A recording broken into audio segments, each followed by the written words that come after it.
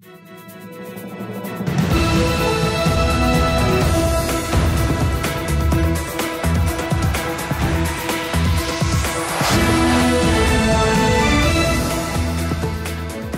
good evening. This is TV7 Israel News broadcast to you from Jerusalem and in today's top stories.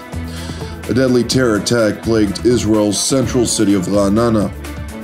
Israeli Prime Minister Benjamin Netanyahu reasserts Jerusalem's unwavering position regarding the war on terror. The Iranian proxy Ansar Allah, which is dominated by the Houthi tribe, pledges to face the United States and Israel in war. A deadly ramming and stabbing terror attack struck the central Israeli city of Ra'anana earlier today when two Palestinian brothers from the West Bank city of Hebron, one of them identified as a 15 year old minor, entered Israel illegally and perpetrated a deadly attack. A short while ago in the city of Ra'anana, a suspect who is in police custody and believed to be a Hebron resident stole a vehicle and used it to commit multiple car ramming attacks. It's believed that he did steal additional vehicles to commit more attacks, but that suspect is in police custody at this time. We have a police helicopter that's in the air in order to scan the perimeter as well as special police forces and other security agencies who arrived at the location to secure and make sure that our civilians are going to be safe. Regrettably, at least one Israeli, an elderly 79 year old woman, succumbed to her wounds, while 18 others, including children, sustained separate degrees of injuries.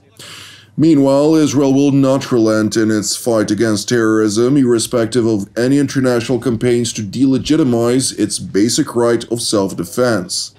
In an address to the nation marking 100 days since Hamas and its terror affiliates launched a brutal war against Israel, Prime Minister Benjamin Netanyahu reiterated Jerusalem's unwavering position. אנחנו מציינים היום 100 ימים למלחמה, 100 ימים ליום הנורא שבו נטבחו ונחטפו אזרחינו. אנחנו ממשיכים במלחמה עד הסוף, עד לניצחון המוחלט, עד שנשיג את כל יעדינו, חיסול החמאס, השבת כל חטופינו, והבטחה שעזה לעולם לא תהווה עוד איום על ישראל.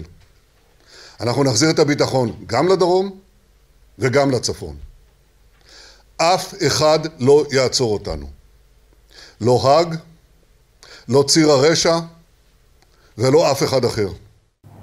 The Israeli premier went on to highlight the absurdity of the South African ploy at the behest of the Islamist Hamas to falsely accuse Israel of committing genocide. ההתנפלות הצבועה בהאג על מדינת היהודים שקמה מאפר השואה, בשליחות אלה שבאו לבצע ביהודים שואה נוספת, ההתנפלות הזאת היא שפל מוסרי בתולדות האומות. במחילות הרצח בעזה, כוחותינו מצאו עותקים של מיינקאמפ של היטלר. בתוך בית בעזה הם מצאו טאבלט של ילדה עם תמונה של היטלר כשומר מסך. לא בכדי אמר קנצלר גרמניה שולץ, אחרי שצפה בזוועות הטבח של השבעה באוקטובר, הוא אמר, החמאס הם הנאצים החדשים. אתמול שוחחתי עם הקנצלר שולץ. והודיתי לו על כך שגרמניה נכונה לשלוח משלחת להאג כדי לעזור להזים את השקר הנבזי הזה. אבל שימו לב, שימו לב לעומק האבסורד והצביעות. תומכי הנאצים החדשים מעיזים להאשים אותנו ברצח עם. במי הם תומכים? ברוצחים? באנסים? בכורתי ראשים? בשורפי תינוקות? איזו חוצפה. איזו בושה. Netanyahu continued by asserting that Israel is waging a just war against a brutal terror army that has assumed the role of the so-called new Nazis. מדינת ישראל, צה"ל וכוחות הביטחון שלנו נלחמים מלחמה מוסרית וצודקת מאין כמוה נגד מפלצות החמאס, נגד הנאצים החדשים. מסע ההכפשה הבינלאומי הזה, אני מבטיח לכם, לא ירפא את ידינו, ולא יחליש את נחישותנו להילחם עד הסוף. כי משהו השתנה בתולדות עמנו. האנטישמיות היא אותה אנטישמיות. אבל מעמדו של העם היהודי השתנה מן הקצה אל הקצה. כי היום יש לנו מדינה, יש לנו צבא, יש לנו כוחות מגן, ויש לנו חיילים גיבורים שמגינים על עמנו. מה שקרה בשבעה באוקטובר לא יקרה שוב. זאת המשימה שלנו, זאת המחויבות שלנו. IDF spokesman Rear Admiral Daniel Hagari also addressed the nation in a televised statement, during the course of which he highlighted the IDF's unrelenting efforts to secure the release of the 136 hostages who've remained in Hamas captivity to date. Admiral Hagari continued by addressing the latest developments along Israel's northern front, where a deadly Hezbollah missile attack claimed the lives of an elderly woman and her son. שעה האחרונה תקפנו מטרות צבאיות של חיזבאללה בלבנון. אנחנו ממשיכים לפגוע ביכולות הארגון ולגבות מחיר הולך ועולה. מוקדם יותר נהרגו שני אזרחים בפיגוע ירי של טיל נגד טנקים לעבר בית אזרחי בכפר יובל. מירה איילון ובנה ברק זיכרונם לברכה. חיזבאללה הוא ארגון טרור רצחני שהורג אזרחים. אנחנו לא נאפשר פגיעה באזרחים. המחיר לכך ייגבה לא רק הערב, אלא גם בהמשך. במהלך הלילה, לוחמי מילואים המגנים במרחב הר דוב מזה שלושה חודשים זיהו חוליית מחבלים שחדרה משטח לבנון.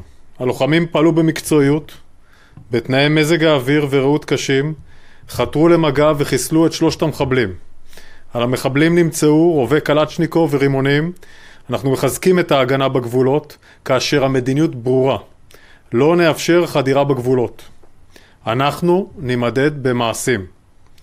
אנחנו נחושים לפעול לשינוי המצב הביטחוני בצפון, ובמקביל ממשיכים להיות ממוקדים בעזה. שם נמצאים החטופים. Meanwhile, in Lebanon, Hezbollah's Secretary General Hassan Nasrallah, in a filmed address from an undisclosed bunker, sought to convince the United States that the root cause for all of the hostilities in the Middle East is no other than Israel's defensive war against Hamas in Gaza, stopping short, of course, from noting that Hamas, under directives from Iran, launched a surprise attack on Israel on October 7th, which brought about the prolonged consequences of this war. موقفنا هو أن جبهة لبنان إنما كانت هذه الجبهة من أجل دعم غزة ومساندة غزة والوقوف إلى جانب غزة وهدفها وقف العدوان على غزة. فليقف العدوان على غزة وبعد ذلك فيما يتعلق بلبنان لكل حادث حديث. العراقيون يقولون فليقف العدوان على غزة وبعد ذلك لكل حادث حديث. اليمنيون يقولون نفس الشيء. لو كان الأمريكي عنده عقل وبيستوعب وبيفهم ومش عنصري ومستكبر ومستعلي هو يفهم جيدا أن أمن البحر الأحمر وهدوء الجبهة في لبنان والوضع في العراق وكل تطورات المنطقة مرهونة بأمر واحد وقف العدوان على غزة. أنت جاي تعالج النتائج والتداعيات روح عالج السبب.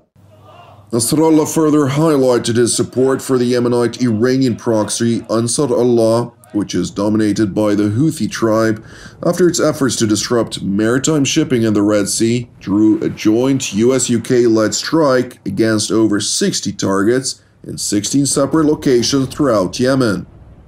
إذا كان بايدن ومن معه يظنون أن اليمنيين سيتوقفون عن مساندة غزة في البحر الأحمر فهم مخطئون مشتبهون وجاهلون جهلة.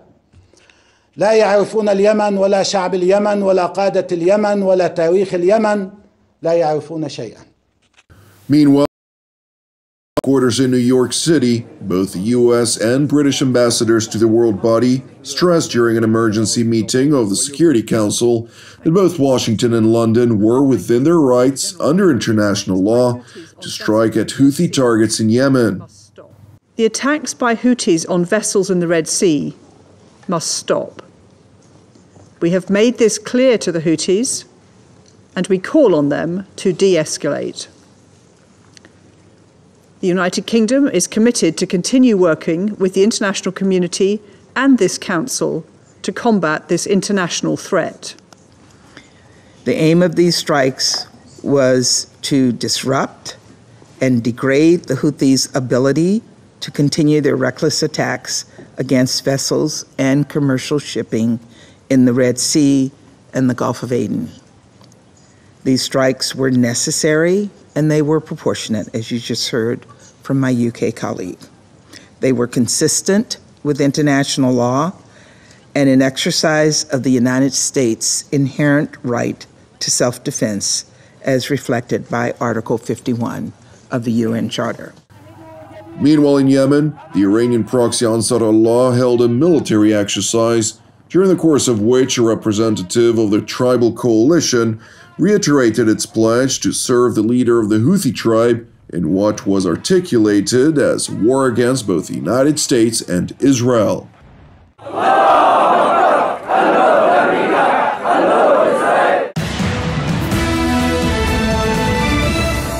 Thank you for watching TV7 Israel News.